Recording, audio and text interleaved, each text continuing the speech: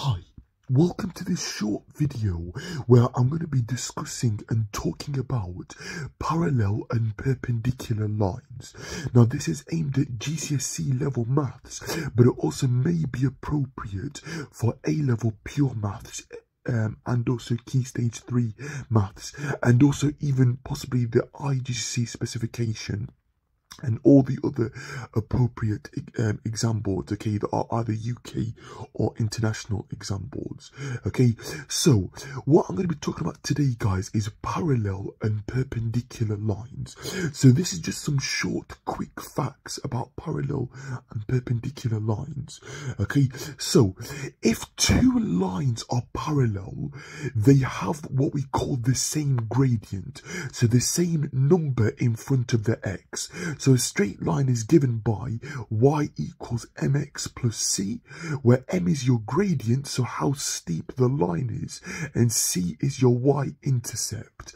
Okay, so if a line is parallel, then it has the same coefficient gradient, okay, in front of the straight line, okay? So it has the same number in front of the x, okay? Now, if a line is perpendicular, then it means that they have what we call a negative reciprocal with one one another actually. And you might think or might ask me what do you mean by the word reciprocal? Well reciprocal just means one over a number okay? So if two lines are perpendicular, then the products of those uh, lines, okay, the products of the gradients have to multiply to give me negative 1. Okay, so let's say a gradient of a line is 2, then the negative reciprocal would be minus a half.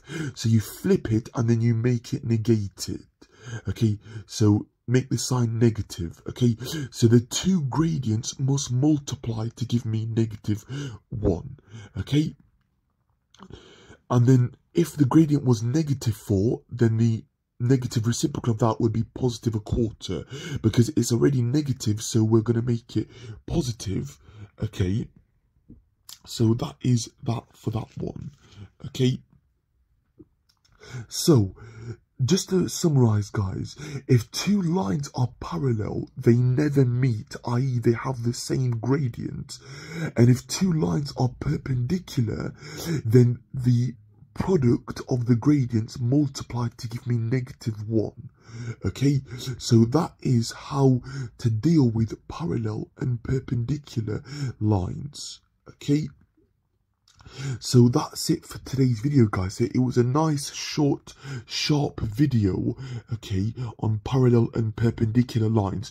So they might ask you in the exam, okay, give a reason why these two lines are parallel or give a, or give a reason why these two lines are not parallel and it's following these rules, okay. And a little disclaimer here, actually, yeah, if you're asked about perpendicular lines, that's explicitly for the higher tier only and it links also to a topic where you're looking at intersection of lines okay? Because if you have two parallel lines they meet at a right angle by the definition of the word perpendicular okay? And also that they will have a point of intersection. So they have a point where the two lines meet okay, one another, okay, at a specific point. Okay, that's only for perpendicular lines though, okay. For parallel lines, the lines will never meet, okay.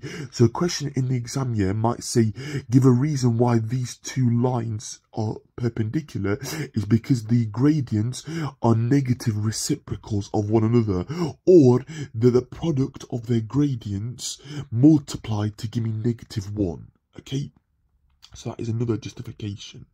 Okay, right guys, so that is the end of today's short, sharp video. If you found it useful, please give it a like. Please subscribe to the channel if you're new. And lastly, please click that bell icon so you don't miss out on further videos and further uploads. Okay, but that's it for me today, guys. Thanks for watching, and I'll see you for the next one. Bye for now.